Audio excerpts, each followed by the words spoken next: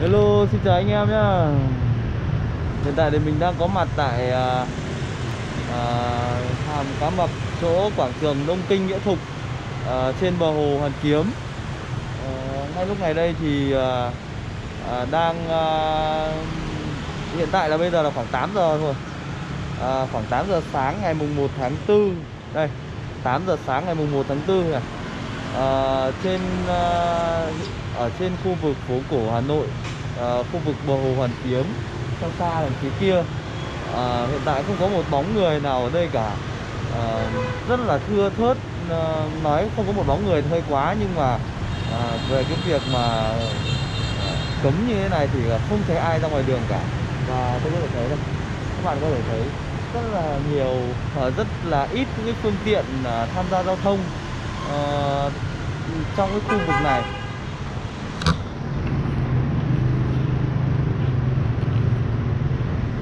Một trong những cái khung cảnh uh, có thể nói là rất là ảm đạm một bầu không khí ảm đạm. Ngày hôm nay thì Hà Nội uh, cũng trong một uh, cái uh, tiết trời uh, âm u một chút. Uh, nhiệt độ thì ờ, khoảng độ tầm ờ, 15 đến 20 độ C mà thôi. Hôm nay là ngày mùng ờ, 1 tháng 4 à, Ngày mà Hà Nội cũng như là à, trên toàn quốc à, đã à, theo cái chỉ thị à, của Thủ tướng Chính phủ à, thì à, à, cách ly toàn xã hội. Ờ, trong thời gian là 15 ngày. Uh, Hiện tại thì ờ, mình đang uh, có mặt trên đường Nguyễn Trí Thanh. Uh, của Hà Nội thì uh, mọi cái uh, hoạt động thì vẫn đang diễn ra. Uh, bây giờ là 7 giờ sáng. Thì uh, người dân uh, cũng uh, tham gia giao thông cũng khá là đông. Không vắng uh, hơn uh, ngày thường là bao nhiêu uh, uh, tuy nhiên thì cái lượng uh, xe đi lại uh, cái lượng uh, phương tiện tham gia giao thông thì cũng uh, còn rất là hạn chế. Uh, nhiều người uh, đang đi làm. Uh, thì uh, hôm nay mình sẽ làm một cái clip uh, để nói về cái cuộc sống uh, của người dân thủ đô uh, sau những cái ngày này. Uh, nhiệt độ ngày hôm nay thì cũng tương đối là thấp. À, chắc chỉ khoảng độ tầm ờ, à, 15 đến 20 độ C thôi nhiệt độ ngoài trời lúc này.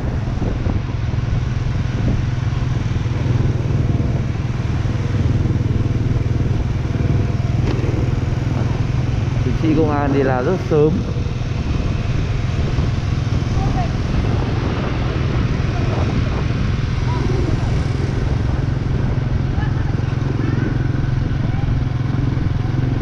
Tại thì tôi đang uh, di chuyển uh, lên uh, gần tới đài truyền hình Việt Nam.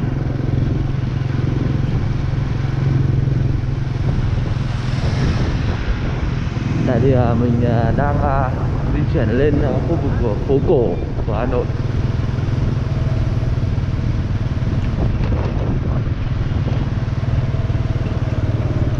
Cũng có khá đông.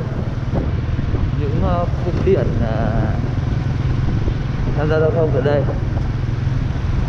Đường phố lúc này thì cũng ờ, khá là đông đúc rồi. Người dân thì ờ,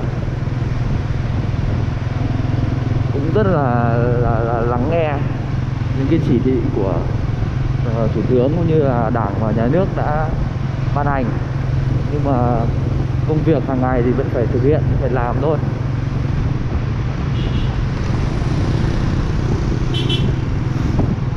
Ngày hôm qua thì uh, uh, trong sáng ngày hôm nay uh, ngày mùng 1 tháng 4 thì uh, đã uh, Bộ Y tế đã công bố uh, là uh, có thêm 5 ca nhiễm mới nâng tổng uh, tổng số uh, ca bệnh uh, tại Việt Nam là uh, 212 người.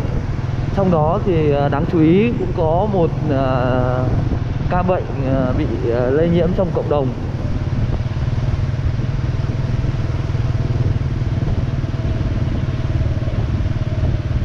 Các bệnh ờ, các bệnh này thì là một người uh,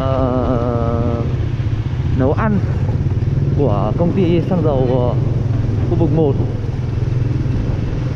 có địa chỉ tại quận Long Biên hiện tại thì ờ, bệnh nhân này đang ờ, được ờ, cách ly theo dõi tại bệnh viện đa khoa Đức Giang và chuẩn bị được chuyển sang bệnh viện nhiệt đới trung ương cơ sở 2 tại xã Kim Trung, huyện Đông Anh để điều trị. Hiện tại thì mình đang có mặt tại phố Kim Mã. Phố Kim Mã này thì sẽ đi thẳng lên Nguyễn Thanh Học. Và mình sẽ di chuyển Nguyễn Thanh Học và Tràng Thi các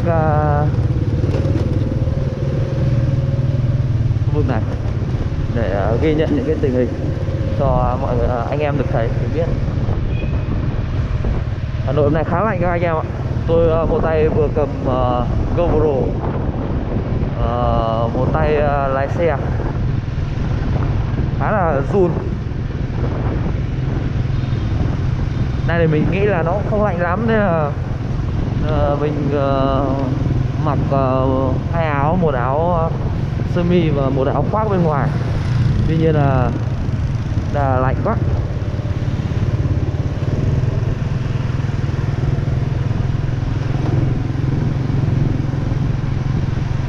Đường phố Hà Nội thì cũng không vắng lắm. Nói chung là cũng không vắng lắm.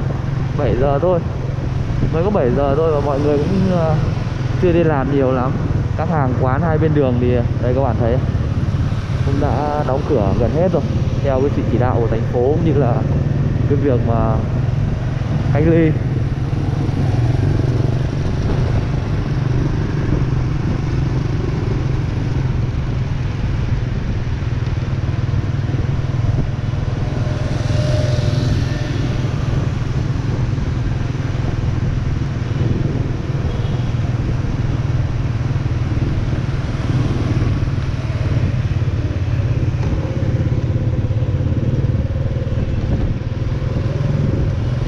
Hà Nội mùa dịch cũng đang ờ, vô vàn là khó khăn.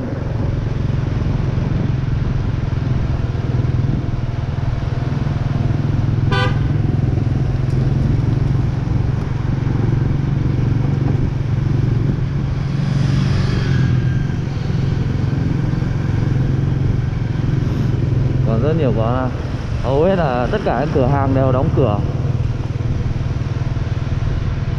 Theo cái sự chỉ đạo của ủy ban thành phố như là cái chỉ thị à, ngày hôm qua. À, ngày hôm qua thì thủ tướng ra một cái chỉ thị là cách ly toàn xã hội. Tuy nhiên thì à, mọi người cũng phải nên hiểu rằng là cách ly toàn xã hội là gì? Cách ly toàn xã hội tức là những người nào mà có những cái công việc mà không bắt buộc phải ra ngoài à, thì à, chúng ta nên hạn chế cái tối đa cái việc mà ra ngoài cũng như là tiếp xúc ở trong những cái ờ, môi trường có nguy cơ lây nhiễm cao ví dụ như kiểu những cái nơi tập trung đông người hay là à, những cái nơi ờ, ờ, lây nhiễm như bệnh viện hoặc là các ờ, ờ, nơi tập trung đông người có nghĩa là ờ, chứ cũng không phải là à, là hạn chế đi lại thôi chứ không phải là cấm đi lại toàn bộ. Và người dân thì vẫn có quyền được tham gia giao thông vẫn có quyền được ra ngoài. Ờ, thế nhưng mà tôi cũng khuyến cáo mọi người là nên mình nên theo nghe theo những cái sự chỉ đạo của của ủy ban nhân dân thành phố Hà Nội nói chung à, nói riêng và à, cái sự chỉ thị của thủ tướng chính phủ Nguyễn Xuân Phúc nói chung để à, cách ly à, tự mình cách ly với xã hội tự mình cách ly với cộng đồng để tránh lây lan à, dịch bệnh. À, có thể là à, mình không nhiễm bệnh nhưng đến những cái nơi như vậy thì mình cũng có nguy cơ lây nhiễm. À, à, hoặc là mình bị bệnh nhưng mà mình không biết và mình ra những cái nơi như thế thì mình cũng lây nhiễm ra cho cộng đồng.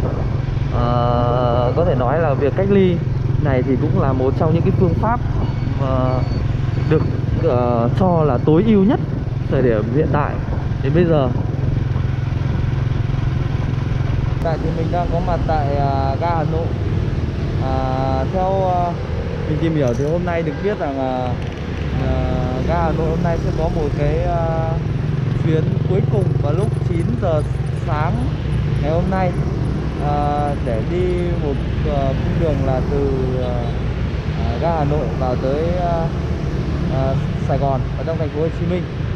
uh, hiện tại thì uh, mình đang uh, vào đây và uh, lượng khách ở đây thì uh, không đông lắm. À, mọi người cũng đang à, tập trung vào mua vé thôi. À, tất cả à, à, những cái hành khách ở trong kia thì à, à, đang ở trong phòng bán vé và đang chờ tàu.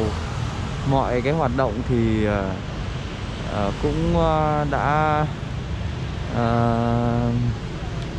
nói chung là cũng à, chuẩn bị được à, đóng cửa cái chỗ này. À, ở đây mình sẽ phỏng vấn một vài à, người ở trong này đây là khu vực ga này. Mua vé chưa em? Mua được vé chưa? Chưa à? thế à, mình à, vào đâu ấy? Vào sài gòn à? Anh hỏi tí thôi, chứ anh không à, không mời em mua vé đâu. Hôm nay còn chuyến cuối cùng à? Về quê à? À khó khăn thế. Nói chung là mọi người đang ờ, rất là khó khăn lắm trong cái ờ, việc ờ, ấy của mình. Thôi, mình tiến vào vòng khu vực bán vé để xem mọi cái hoạt động như thế nào. Đây là khu vực bán vé ở ga Hà Nội này. Cũng khá ít người có mặt tại đây. Chào anh hôm nay à, anh đi về quê hả anh? Ừ. Đây là khu vực à, bán vé của ga Hà Nội. Mọi người à, cũng đang chuẩn bị di chuyển vào để mua.